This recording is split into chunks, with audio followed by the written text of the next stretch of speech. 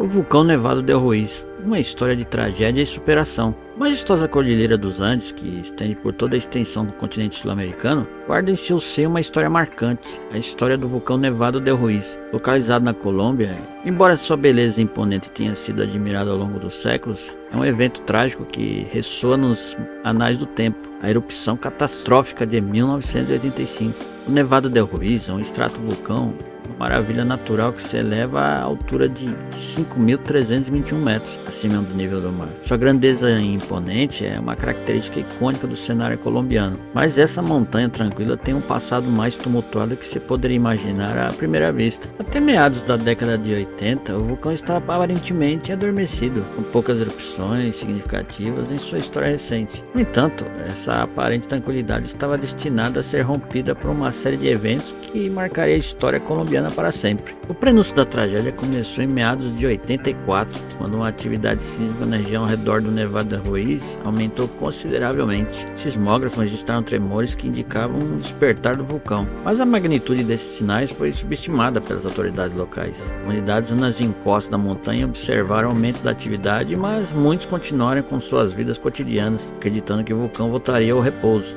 Em 13 de novembro de 1985, a situação tomou um rumo dramático. Uma série de terremotos sacudiu a região. Atividade vulcânica intensificada começou a ser observada. Ainda assim, as advertências específicas e eminentes de uma erupção devastadora não foram adequadamente comunicadas à população. As autoridades não conseguiram traduzir os sinais da natureza em alertas claros e eficazes para as comunidades vulneráveis próximas ao vulcão. No dia seguinte, 14 de novembro de 1985, o Nevado del Ruiz finalmente entrou em erupção em uma demonstração impressionante e aterrador do poder natural. O calor da erupção derreteu uma grande quantidade de gelo e neve no cume da montanha, desencadeando uma torrente de lama vulcânica, cinzas e rochas conhecida como lahar. Esse lahar descendente tinha uma força avassaladora, ganhando velocidades que alcançavam até 60 km por hora à medida que descia pelas encostas do vulcão. A cidade de Armeiro, situada no vale abaixo do vulcão, foi a mais atingida. O lahar, com sua força destrutiva implacável, devastou tudo em seu caminho, transformando casas, árvores e estruturas em escombros. A tragédia foi rápida e avassaladora. Estima-se que mais de 20 mil pessoas perderam suas vidas naquele fatídico dia em Armeiro e nas regiões circunvizinhas. A magnitude da tragédia de Armeiro logo ganhou atenção internacional. As imagens chocantes da destruição e perda de vidas foram transmitidas para o mundo todo, deixando uma marca indelével na consciência global. A tragédia de Armeiro, embora uma consequência direta da erupção vulcânica, também trouxe à tona questões complexas sobre comunicação, preparação e respostas a desastres naturais.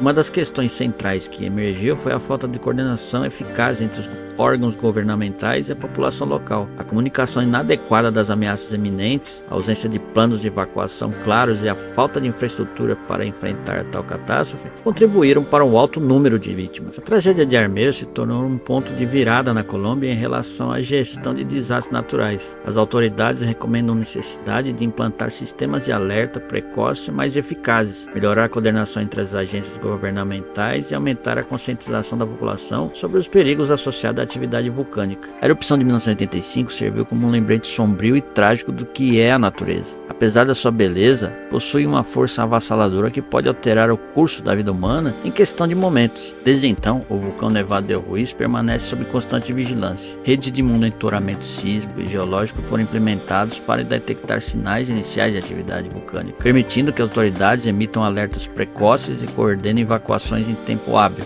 A preparação e resposta a desastres se tornam prioridades cruciais. Hoje, à medida que a Colômbia avança, as lições aprendidas com a erupção de 85 continuam a mudar políticas e abordagens para a gestão de riscos naturais. A memória das vidas perdidas e das comunidades destruídas serve como um lembrete constante da necessidade de estar preparado para o imprevisível e de investir em infraestruturas resilientes. Embora as cicatrizes físicas e emocionais da erupção de 1985 sejam profundas, a história do Nevado de Ruiz também é uma história de resiliência e solidariedade. Inúmeras organizações nacionais e internacionais internacionais se uniram para prestar assistência às vítimas e apoiar a recuperação das áreas afetadas. Esforços de reconstrução ajudaram a trazer uma nova vida para as comunidades devastadas, enquanto a memória da tragédia fortaleceu o compromisso de evitar que tais eventos se repitam. Pois é, meus amigos, a história da tragédia provocada por esse vulcão foi um divisor de águas em relação ao monitoramento, ações de prevenção e resgate para esses eventos. Infelizmente, muitas vidas foram perdidas para que isso ocorresse. E assim encerramos mais uma história de vulcões. Se você gostou desse conteúdo, não se esqueça de deixar o seu like,